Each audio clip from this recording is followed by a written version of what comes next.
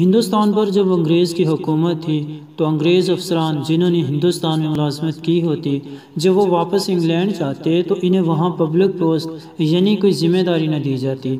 دلیل یہ تھی کہ تم نے غلام قوم پر حکومت کی ہے، جس سے تمہارے اتوار اور رویے میں فرق آیا ہوگا۔ یہاں اگر اس طرح کی کوئی ذمہ داری تمہیں دی جائے تو تم ایک آزاد انگریز قوم کو بھی اس طرح ڈیل کرو گے۔ یعنی جس طرح کا تمہارا رویہ غلام قوم کے ساتھ تھا، تم یہاں ایک آزاد قوم کے ساتھ بھی ویسے ہی رویہ اختیار کرو اس مختصر تعارف کے بعد آپ کو ایک واقعہ سناتے ہیں۔ ایک انگریز خاتون جس کا شوہر برطانوی دور میں ہندوستان میں سول سروس کا آفیسر تھا خاتون نے زندگی کے کئی سال ہندوستان کے مختلف علاقوں میں گزارے۔ واپسی پر اپنی یادداشتوں پر مبنی ایک بہت ہی خوبصورت کتاب لکھی۔ خاتون نے لکھا کہ میرا شوہر جب ایک ضلع کا ڈپٹی کمشنر تھا، اس وقت میرا بیٹا تقریباً چار سال کا اور بیٹی ایک سال کی تھی۔ ڈپٹی کمشنر کو ملنے والی کئی ایکڑ پر محیط رہائش گاہ میں ہم رہتے تھے۔ ڈی سی صاحب کے گھر اور خاندان کی خدمت گزاری پر کئی سو افراد معمور تھے۔ روز پارٹیاں ہوتی شکار کے پروگرام بنتے، ضلع کے بڑے بڑے زمیندار ہمیں اپنے ہاں دعوت دیتے اور جس کے ہاں ہم چلے جاتے، وہ اسے اپنی عزت افزائی سمجھتا۔ ہمارے ٹھٹ ایسے تھے کہ برطانیہ میں ملکہ اور شاہی خاندان کو بھی مشکل سے ہی یہ میسر تھے۔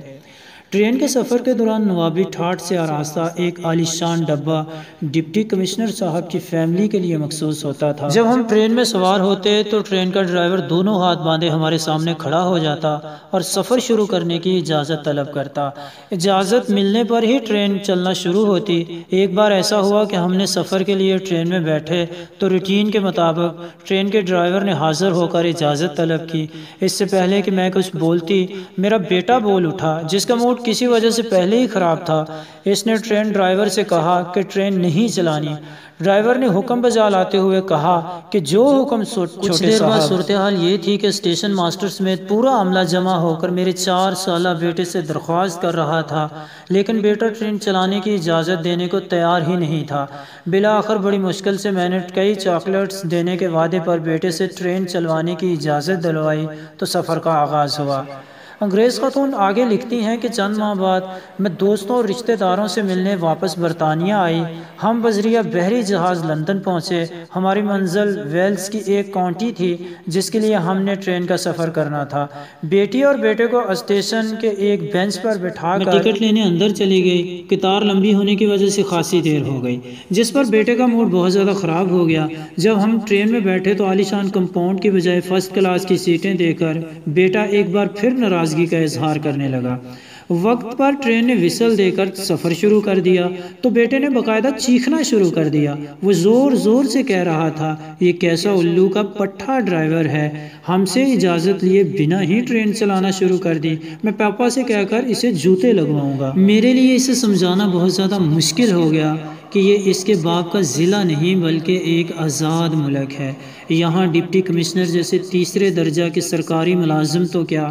وزیر اعظم اور بادشاہ کو بھی یہ اختیار حاصل نہیں کہ وہ اپنی انا کی تسکین کے لیے عوام کو ذلیل اور یہ واضح ہے کہ ہم نے انگریز کو یہاں سے ضرور نکالا ہے۔ البتہ غلامی کو دیس نکالا نہیں دے سکے۔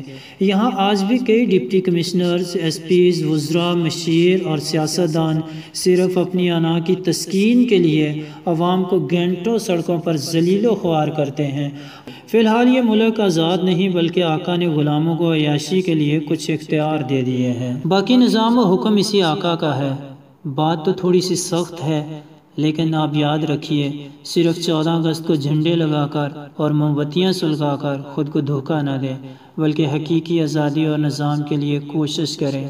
دوستو، آپ لوگوں سے گزارش ہے، اگر آپ کو یہ ہماری ویڈیو اچھی لگی تو جاتے جاتے ہمارا چینل لازمی سبسکرائب کر لیں۔ بیل کے نشان کو بھی ساتھ ضرور پریس کر دیں۔ ملیں گے کسی اچھی ویڈیو میں دوبارہ۔ تب تک کے لیے اپنا بہت زیادہ خیال رکھیے گا۔ اللہ حافظ۔